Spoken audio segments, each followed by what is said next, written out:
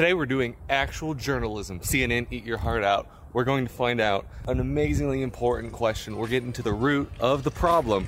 We're gonna see if you can PC game in your van.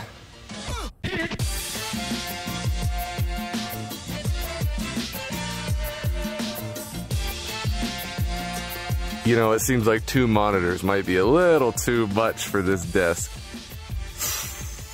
All right, let's see if we can unwind some of these cables.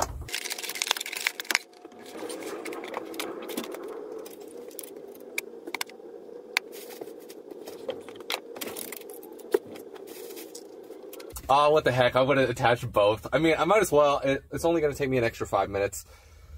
the things I do.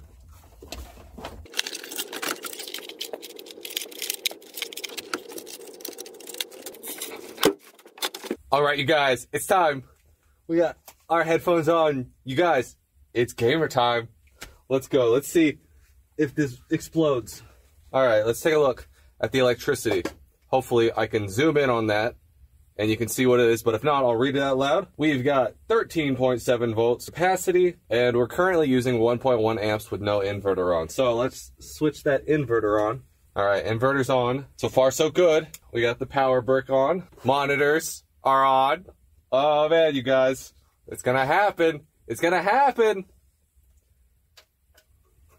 Oh, can you hear that? I don't know, you guys. What's going on? Oh, what's this? What's this? I'm talking a little louder because I have noise canceling headsets on. We're plummeting in the electricity, even though we've got. Uh, let's see. Let's quickly. Quickly, we've got to play a game. Oh no, I don't have anything. Let's see. All of my games are online and I don't have the internet set up. We don't have the time. We're rapidly losing altitude. And by that, I mean electricity. This is draining pretty fast. I don't know if you can see what's going on here. We started at 13.8, now we're down to 12.12. So this is a 500 watt power supply. So it's draining it that quickly. It's not overloading it like the iron was. So you could technically do a bit of here. Can you PC game in a van?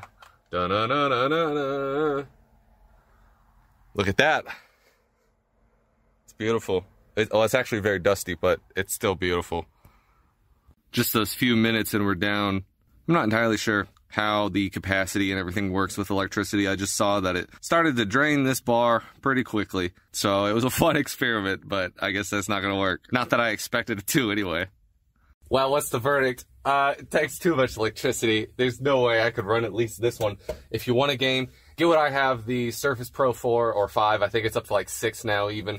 That's a great tablet laptop you can play. Probably up to like World of Warcraft type stuff. Any other higher game, it's not going to work because it's a tablet and it does have overheating problems.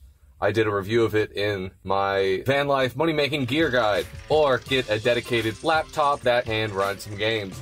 Your desktop is just not to work unless you have a lot more battery power than I do. Thank you for watching this crazy experiment. I'm the mad scientist. You think Hobotech's a mad scientist. Does he have a desktop computer in his van? He might, actually. He might. I'll see you guys tomorrow.